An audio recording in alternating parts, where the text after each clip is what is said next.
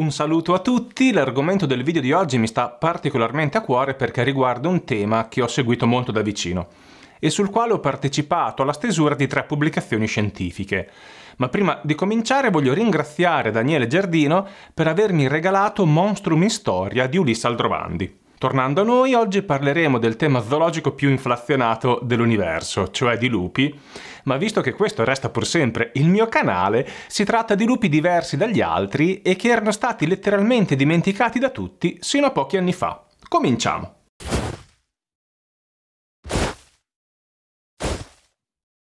Il lupo grigio, nome scientifico Canis lupus, è una specie ampiamente distribuita e nativa di numerose regioni eurasiatiche e americane.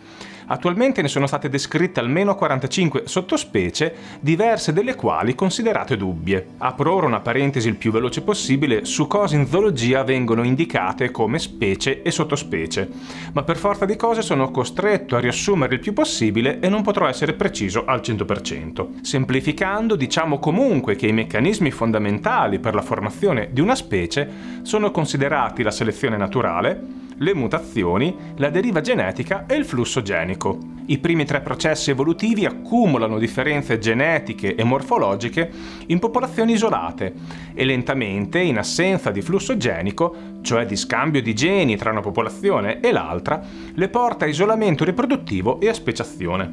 Vi è poi il concetto di sottospecie, che tradizionalmente indica popolazioni morfologicamente distinguibili all'interno della stessa specie, ma negli ultimi anni si è parlato anche di popolazioni di specie incipienti, non ancora sufficientemente distinte per essere considerate tali a tutti gli effetti. Va aggiunto poi che l'avvento della genetica, non dobbiamo infatti dimenticare che quando furono concepiti i primi concetti di specie e di sottospecie, non si conosceva nemmeno l'esistenza del DNA, ha contribuito a sviluppare nuovi approcci. Quindi, riassumendo al massimo, una sottospecie è di norma considerata tale se è geograficamente isolata e morfologicamente e geneticamente distinguibile da un'altra popolazione della stessa specie.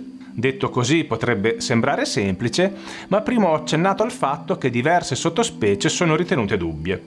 Il motivo è che pur concordando in linea di massima sugli elementi che le caratterizzano, trovare una linea di demarcazione non è sempre semplice. Ad esempio, quanta differenza genetica e morfologica deve esserci per accettare una sottospecie? Su questo si dibatte da decenni e non mi inoltro ulteriormente sulla cosa. Chiusa la parentesi, spostiamoci ora nel nostro Appennino, dove nel 1921 il medico naturalista Giuseppe Altobello scoprì che il lupo che lo abitava possedeva differenze anatomiche rispetto alle altre popolazioni europee e propose la nuova sottospecie Canis lupus italicus. Nonostante oggi sia però numerosissimo nel nostro paese, il lupo fu dichiarato protetto solo nel 1971, periodo in cui ne sopravvivevano forse meno di 100 esemplari in aree isolate dell'Appennino centrale e meridionale. Dato che le prime ricerche scientifiche approfondite sulla specie coincisero proprio con questo periodo, furono incentrate soprattutto sulla sua salvaguardia ed etologia, trascurando enormemente gli aspetti tassonomici, cioè quelli relativi alla classificazione, al punto che ancora nel 2013 Ciucci e Boitani scrivevano «Gli studiosi oggi sono propensi a non considerare le popolazioni che vivono nell'area del Mediterraneo come sottospecie a parte».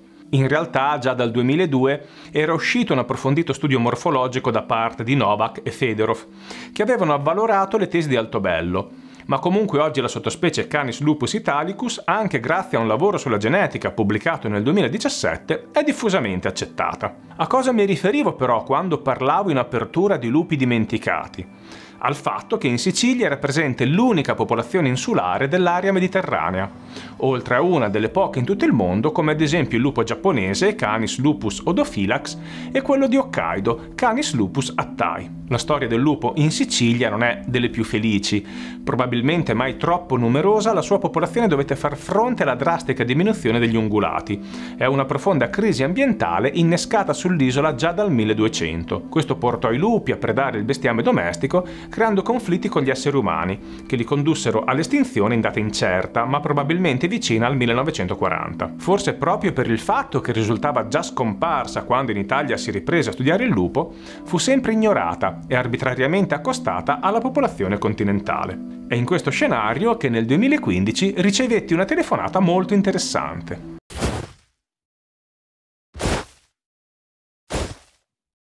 Dall'altra parte del ricevitore c'era lo zoologo Francesco Maria Angelici che mi chiedeva cosa sapevo riguardo al lupo siciliano. La mia risposta fu che non ne sapevo nulla e mi illustrò un'idea che coltivavo ormai da tempo, quella di un'indagine morfologica e genetica sui pochissimi reperti ancora esistenti e conservati nei musei.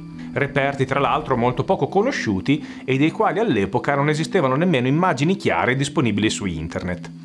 La sua curiosità però non nasceva dal nulla, ma da un elemento che lo aveva colpito, una relazione del 1858 del naturalista Francesco Minapalumbo, che descriveva i lupi che aveva personalmente osservato e misurato in Sicilia.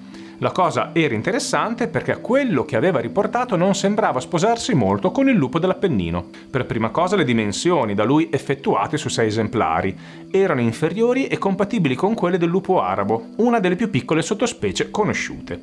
Palumbo descriveva poi un altro dettaglio molto curioso, e cioè che il manto dei lupi siciliani era di colore lionato, in pratica simile a quello di un leone.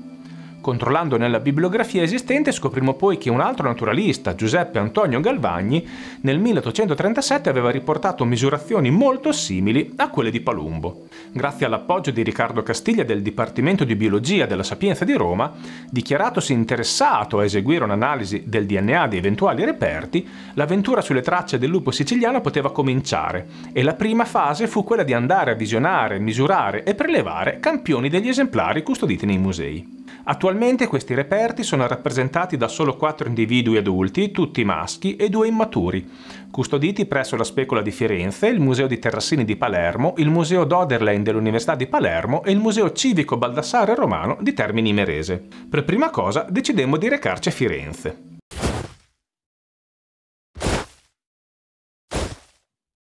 L'animale che ci trovammo davanti, grazie alla disponibilità dell'allora curatore della collezione dei mammiferi, Paolo Agnelli, era alla vista molto particolare. Piccolo, di un colore giallo chiaro e privo delle bande scure sugli avambracci, che sono un po' il marchio di fabbrica dei lupi appenninici. Un conto sono però le prime impressioni e un conto sono le verifiche. Ad esempio, le dimensioni potevano apparire così piccole perché si trattava di un esemplare giovane, oppure male imbalsamato? Il colore poteva essere così chiaro perché in qualche modo la pelliccia dell'animale si era scolorita dopo un'esposizione di molti anni alla luce diretta? Cominciamo dalle dimensioni. In genere quando si vuole misurare un animale l'ideale sarebbe farlo su esemplari vivi o morti da poco, perché per via del processo di imbalsamazione le dimensioni possono non corrispondere con quelle reali. Infatti i tassidermisti del passato tendevano spesso ad aumentare le dimensioni di un animale ad aumentare, non certo a diminuire, cosa che oltre a non essere altrettanto semplice è anche priva di senso. Va aggiunto comunque che parti anatomiche come ad esempio le orecchie non venivano mai alterate nelle dimensioni e sono da sempre ampiamente utilizzate in zoologia quando si effettuano misurazioni su reperti museali. Queste però erano nostre congetture e serviva una prova, prova che riuscimmo a procurarci immediatamente. Dell'esemplare custodito nel Museo di Firenze era stato infatti conservato il cranio, si trattava al 100% del cranio di un individuo adulto, quindi non di un giovane, ed era estremamente piccolo per un lupo appenninico, come si intuisce chiaramente da queste immagini comparative in cui è accostata al cranio di un lupo appenninico maschio e a quello di una femmina. Chiusa la questione dimensioni, passiamo al colore e stabilire che non poteva essere dovuto a un processo avvenuto dopo la morte dell'animale fu abbastanza semplice. Per prima cosa il reperto non era mai stato esposto al pubblico e quindi conservato per decadi nel buio di un magazzino. Inoltre, in genere la scoloritura degli animali tassidermizzati avviene maggiormente da un lato, quello più direttamente esposto alla luce, cosa che non era riscontrabile nel campione da noi esaminato, la cui colorazione risultava omogenea ma anche in questo caso oltre alle nostre congetture c'era una prova concreta, che ci fa capire l'importanza delle collezioni museali e dei cartellini che accompagnano ogni reperto.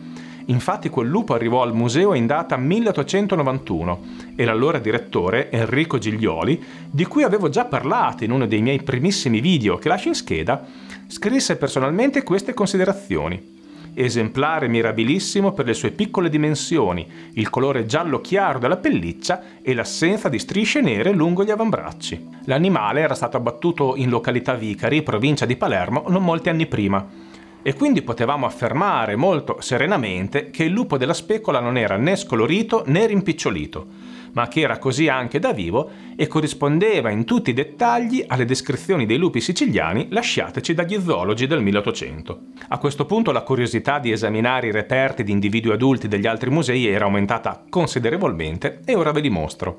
Questo è il lupo custodito al Museo regionale di Terrassini, questo quello custodito presso il Museo d'Oderlein di Palermo e questo quello custodito al Museo Baldassare Romano di Termini Imerese. Sono tutti caratterizzati da piccole dimensioni, colorazione chiara tendente al giallo e assenza o minimo accenno di banda nera sugli avambracci.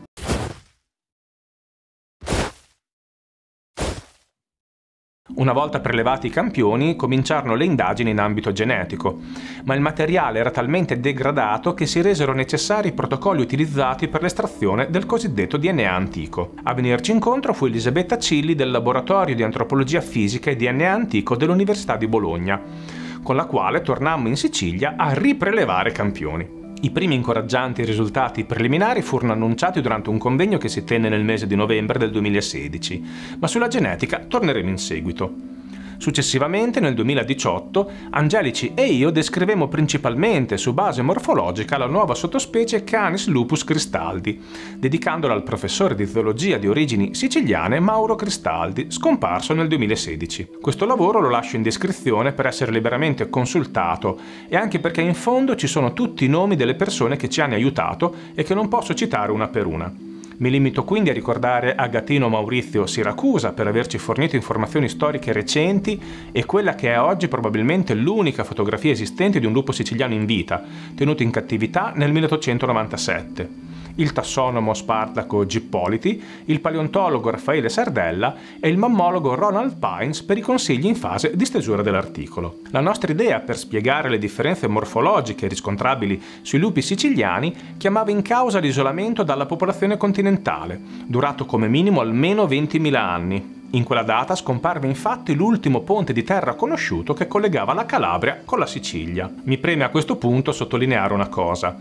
È vero che alcune popolazioni di lupi sono più propense al nuoto di altre, come ad esempio i lupi dell'isola di Vancouver, ma ipotizzare da questo che i lupi siano giunti in Sicilia attraversando lo stretto di Messina in numero sufficiente per stabilirvi una popolazione è pura fantascienza. L'anno seguente uscì anche il lavoro finale relativo alla prima indagine genetica, che prendeva in esame 57 basi di DNA mitocondriale e che dimostrava nei campioni la presenza di un aplotipo lupino mai documentato prima di allora, che ritenemmo potesse essere frutto di mutazioni avvenute sull'isola. Concedendomi l'ennesima semplificazione, per aplotipo si intendono una serie di varianti genetiche che vengono passate in blocco per linea matriarcale, di generazione in generazione. Alla fine di questo lavoro, cui prese parte anche ISPRA, le nostre conclusioni furono che in accordo con il suo isolamento, le differenze morfologiche e l'identità genetica, suggeriamo che il lupo siciliano possa essere considerato una sottospecie valida, così come i recenti studi tendono a confermare per le altre popolazioni insulari della specie.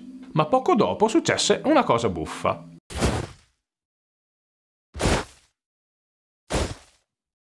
Interessata alla cosa, l'Università di Catania aveva organizzato un seminario, annunciato con mesi di anticipo dal titolo Il lupo di Sicilia, un endemismo dimenticato e scomparso, al quale fu invitato come relatore anche Francesco Maria Angelici. Ebbene, questo seminario era previsto in data 21 giugno 2019, ma a pochi giorni dall'evento l'Università di Palermo annunciò un convegno dal titolo Il lupo siciliano che si svolse esattamente il 20 giugno, un giorno prima di quello che era stato annunciato da tempo. Immagino che parlando di lupi qualcuno avesse voluto marcare un po' il territorio. È comunque interessante notare come riguardo a lupi dei quali fino a ieri l'altro non si era mai interessato nessuno, adesso chiunque voleva dire la sua. Dal convegno dell'Università di Palermo fu anche pubblicato un libretto contenente gli interventi dei partecipanti e va detto che al suo interno sono presenti considerazioni estremamente superficiali che forse potevano essere anche evitate. Cito ad esempio dall'articolo I carnivori olocenici della Sicilia di Marco Masseti, nel tentativo di istituire una sottospecie siciliana, ad Angelici Rossi è forse sfuggito il fatto che le dimensioni di un esemplare naturalizzato dipendono essenzialmente dalle capacità del preparatore di manipolarne la pelle e che dopo tanti anni dal momento della sua naturalizzazione e soprattutto esposizione al meraviglioso sole siciliano anche la pelliccia più scura tende inesorabilmente a schiarirsi. Altra cosa curiosa e per me difficilmente comprensibile è come alcuni anni dopo, in data 5 ottobre 2022, la pagina Facebook del Museo di Teologia di Palermo scrisse un post in cui si affermava che il lupo presente nelle collezioni apparteneva alla stessa sottospecie del lupo penninico, Canis lupus italicus. Comunque ogni posizione può cambiare in base alle scoperte che si accumulano mano a mano e per quanto riguarda il lupo siciliano, oggi qualcosina in più la possiamo dire.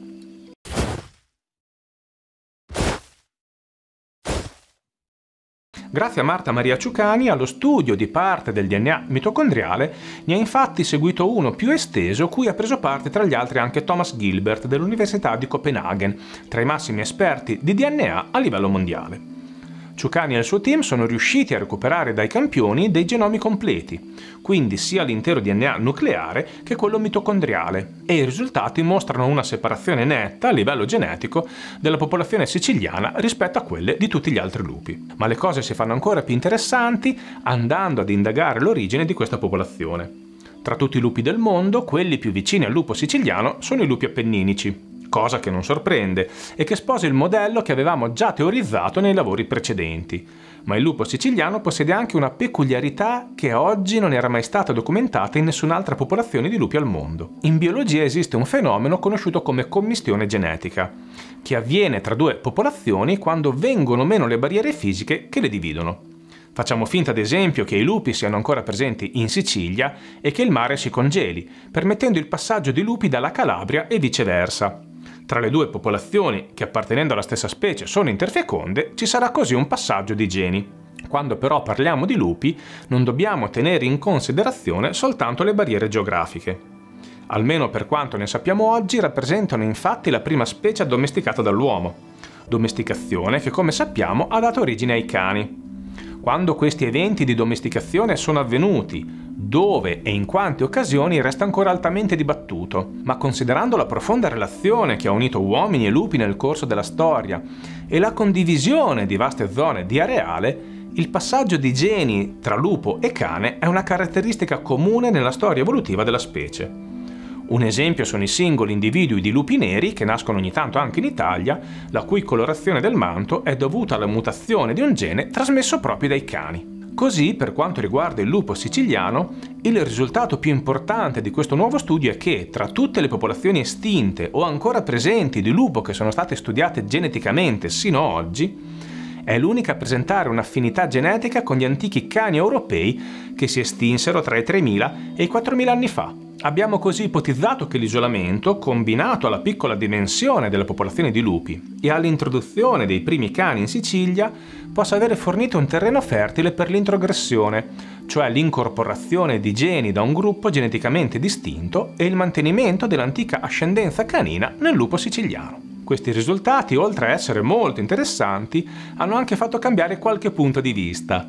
Infatti in una recentissima pubblicazione, cui tra gli autori figurano anche Sabrina Lobruto del Museo di Zoologia di Palermo e Maurizio Sarà dell'Università di Palermo, è dedicata alle collezioni presenti nel sopracitato museo, l'esemplare di lupo siciliano è stato riportato in qualità di sottospecie regionale endemica e geneticamente divergente. E anche per questa volta ho concluso, spero che il video vi sia piaciuto e vi invito a lasciare un like e un commento. Se vi va seguitemi anche su Instagram e Telegram e iscrivetevi al canale spuntando anche la campanellina per restare sempre aggiornati. Ricordo infine che è possibile supportare il canale attraverso TP per il raggiungimento di 3 video al mese e per chattare insieme su questi argomenti. Questa volta non vi saluto come al solito perché ho uno strappo alla schiena e ho un dolore atroce, quindi ciao!